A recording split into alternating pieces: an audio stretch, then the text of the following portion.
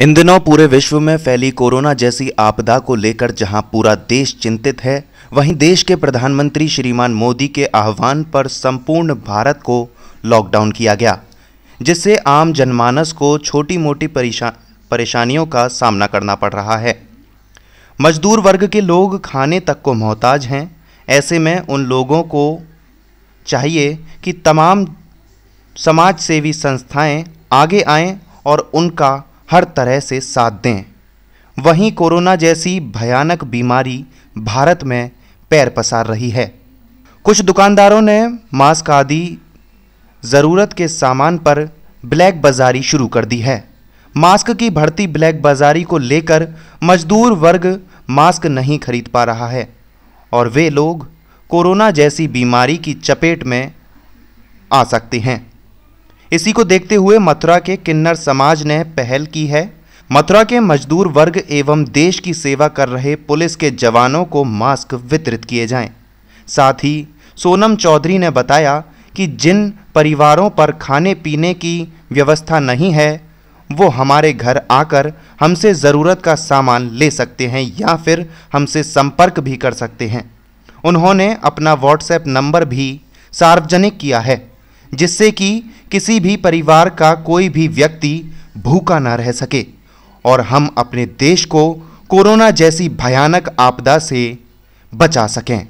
साथ ही उन्होंने सभी समाज सेवियों से अपील करते हुए कहा है कि हम सभी को आगे आना चाहिए और देश के प्रधानमंत्री श्रीमान मोदी के निर्देशों का पालन करना चाहिए। जी, मेरा नाम सोनम चौहान है। हम यहाँ मथुरा की किन्नर हैं। भरतपुर गेट पच्ची मंडी, पंजाबी कॉलोनी में हमारा मकान है। मेरी गुरुजी सपना बाई हैं। और ये जो हमारे देश में इतने बड़ा एक वायरस फैला है, जो चीन से आया है, क्या कहीं से भी आया है, और आने के बाद हमारे पूरे भारत को कब्जा कर लिया है।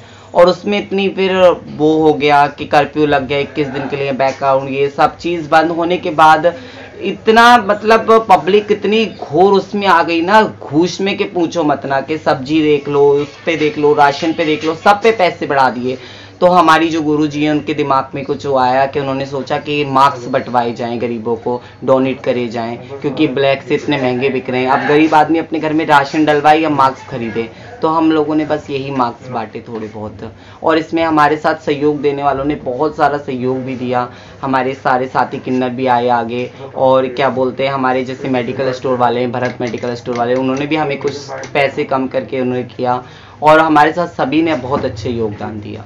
आज के समय में बहुत लोग जो कंपनियाँ बंद हो गई हैं और कंपनियों में मजदूर फंसे हुए हैं, उनको व्यवस्था नहीं है व्हीकल की कोई ट्रांसपोर्ट की व्यवस्था नहीं हो पा रही है तो क्या आप सरकार से कहना चाहेंगे? दिल्ली से लोग आगरा तक, फिरोजाबाद तक पैदल जा रहे हैं तो क्या होना चाहिए उनका?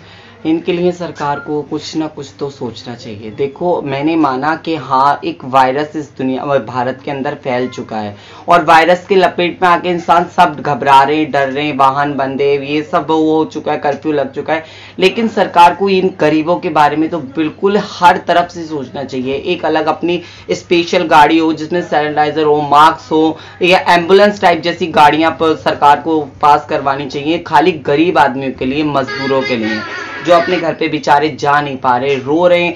आप व्हाट्सएप पे वीडियो उठा उठा के देख लो कि बहुत से लखनऊ के हैं कहाँ के मुंबई में फंसे पड़े दिल्ली में फंसे पड़े फैक्ट्रियों में फंसे पड़े आगरे में फंसे पड़े। बेचारे रोटियों तक के नहीं है उनके घर में खाने को। वो रोडों पे सोते हैं फैक्ट्रियों में रहते हैं फैक्ट्री मालिकों ने जॉब पे से निकाल दिया अब उनको। अब बताओ वो क्या में कह रहे हैं कि जाओ अपने घर जाओ ये बीमारी फैल रही है। अब वो रोडों के अलावा कहाँ सोने जाए? और रोडों पे सो रहे पुलिस वाले डंडे मार रहे हैं।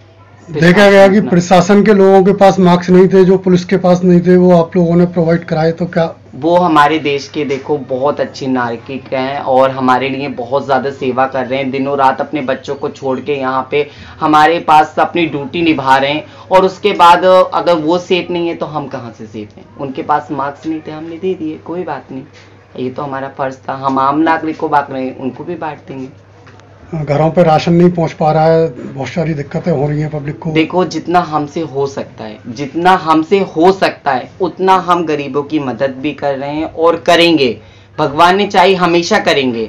मेरी गुरु जी हैं, आज से 25 साल हो गए उनको। लावारिस जितनी भी डेड बॉडी आती हैं, मेरी गुरु उनका क्रियाक्रम करती हैं। पहले नौ सौ लगते थे, आज के ज़माने में चार हज़ार लगते हैं। सारे रेलवे स्टेशनों पे सब जगह मेरे गुरुजी का नंबर बैठा हुआ है। सारी लावारिस डेड बॉडी हमारे घर आती है, हम सामने वाले कब्रिस्तान में लगाते हैं। हमने तीन चार बार उसकी खबर दे दी कि उसकी सफ़ाई नहीं हो रही। हम देखो, वो कोई वो तो है नहीं है। क्या नाम है कि प्राइवेट हो जैसे अब हमारे सामने वाला कब्रिस्तान है प्राइवेट है वो चंदा करके हम उसकी सफ़ाई करवा सकते हैं। वो तो वो है सरकारी उसमें तो लावारिस डेड बॉडियाँ दफन होंगी। तो हम भी कब तक कहाँ तक? आप लोग जो हमें देते हैं जो हमारे खाने पीटने से बचता है वो हम आप ही लोगों को पुण्य लगाते रहते हैं। शादियाँ करना ये सब कुछ करना ये सब इतना है। और राशन भी पहुँचा रहे हैं हम बहुत से लोगों के गरीबों के घर जिनके घर और आके ले जाए। हम सामने से अप्लाई कर रहे हैं हमारे घर से आके ले जाए जिसके घर पे राशन है हमारा नंबर लीजिए आपको प्रॉब्लम है हमसे बात करिए। हम आपके लिए हेल्पलाइन आएँगे। फ्री में राशन आए गरीब आए अपने लेके आ जाए। तो आप अपना नंबर इशू करना चाहेंगे? जी बिल्कुल मेरा नंबर है nine eight one zero three eight three five two nine. आप इस नंबर पे फ़ोन करके जो गरीब होगा जो हमसे हेल्प होगी हम ज़रूर करेंगे। धन्यवाद। जय हिंद जय भारत।